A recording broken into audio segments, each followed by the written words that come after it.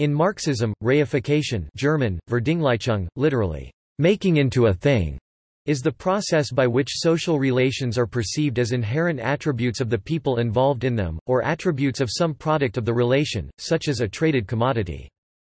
This implies that objects are transformed into subjects and subjects are turned into objects, with the result that subjects are rendered passive or determined, while objects are rendered as the active, determining factor. Hypostatization refers to an effect of reification which results from supposing that whatever can be named, or conceived abstractly, must actually exist, an ontological and epistemological fallacy. The concept is related to, but distinct from, Marx's theories of alienation and commodity fetishism. Alienation is the general condition of human estrangement. Reification is a specific form of alienation. Commodity fetishism is a specific form of reification. Topic: Development and significance of the concept.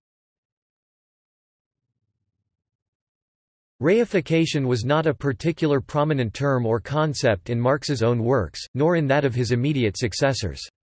The concept of reification rose to prominence chiefly through the work of Georg Lukács, in his essay, Reification and the Consciousness of the Proletariat. Part of his book History and Class Consciousness, this is the locus classicus for defining the term in its current sense. Here, Lukács treats it as a problem of capitalist society related to the prevalence of the commodity form, through a close reading of Marx's chapter on commodity fetishism in Capital. Lukács's account was influential for the philosophers of the Frankfurt School, for example in Horkheimer and Adorno's Dialectic of Enlightenment, and in the works of Herbert Marcuse. Others who have written about this point include Max Stirner, Guy Debord, Gaho Petrovic, Raya Dunayevskaya, Raymond Williams, Timothy Bewes, Axel Honneth, and Slavoj Žižek. Petrovic, in A Dictionary of Marxist Thought, defines reification as the act or result of the act of transforming human properties, relations and actions into properties, relations and actions of man-produced things which have become independent and which are imagined as originally independent of man and govern his life.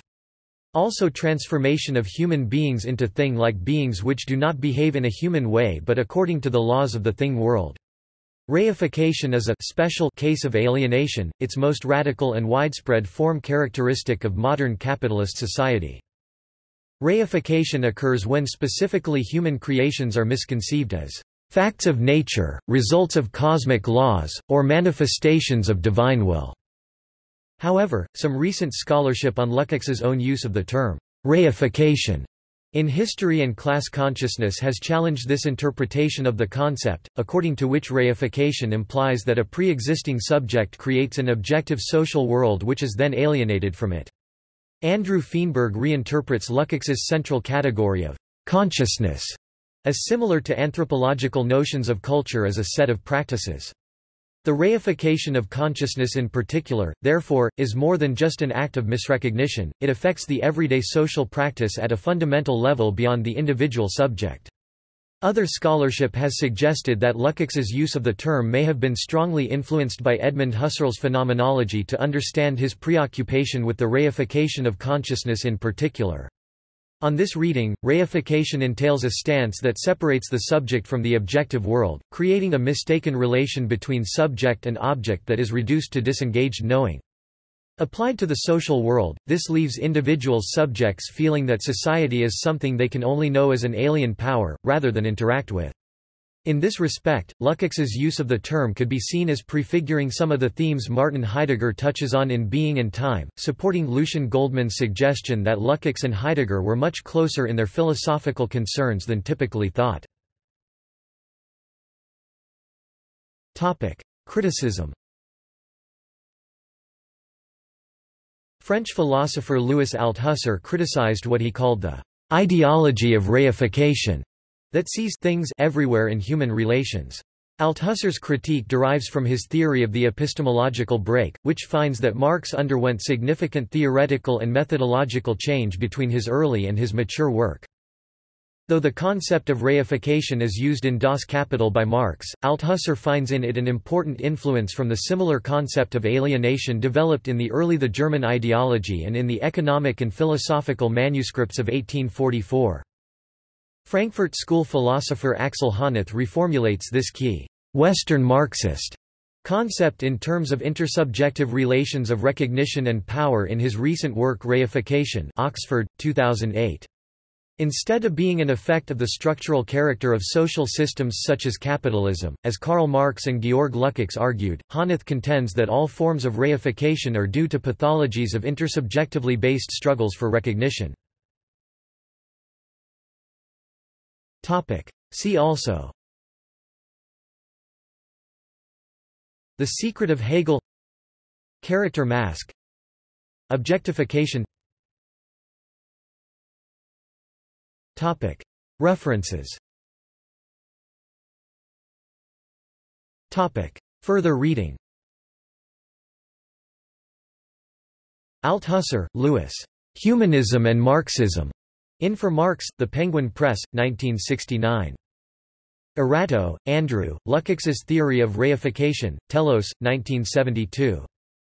Bewes, Timothy 2002, Reification, or the Anxiety of Late Capitalism, Verso, 2002, ISBN 1-85984-685-8.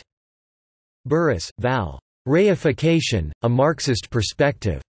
California Sociologist, Volume 10, No. 1, 1988, pp. 22–43. Dabrowski, Tomasz. Reification. Blackwell Encyclopedia of Political Thought, Blackwell, 2014, doi, 10.1002, 9781118474396, WBEPT 0875 Dahms, Harry. Beyond the Carousel of Reification, Critical Social Theory after Lukács, Adorno, and Habermas. Current Perspectives in Social Theory 18 1998, 3–62 see Harry Dahms Duarte, German A., Reification Mediatica Sick editorial 2011 Dunayevskaya, Raya. Reification of People and the Fetishism of Commodities. In the Raya Dunayevskaya collection, pp. 167–191. Feenberg, Andrew, Lukács, Marx and the Sources of Critical Theory Rowman and Littlefield, 1981, Oxford University Press, 1986 Feenberg, Andrew, The Philosophy of Praxis, Marx, Lukács and the Frankfurt School Verso Press, 2014 Floyd, Kevin, Introduction, on Capital, Sexuality, and the Situations of Knowledge, in the Reification of Desire, Toward a Queer Marxism. Minneapolis, Minnesota, University of Minnesota Press, 2009.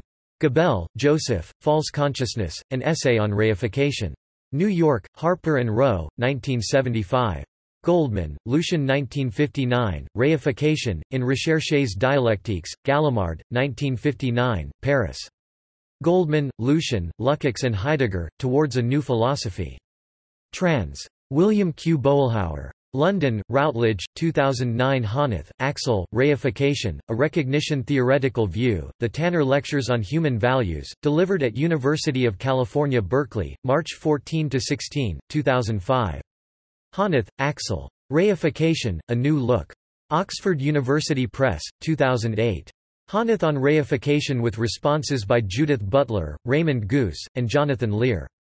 Kangrega, Milan 1968, Was ist Verdinglichung, Larsen, Neil, Lukács sans proletariat, or Can History and Class Consciousness be Rehistoricized?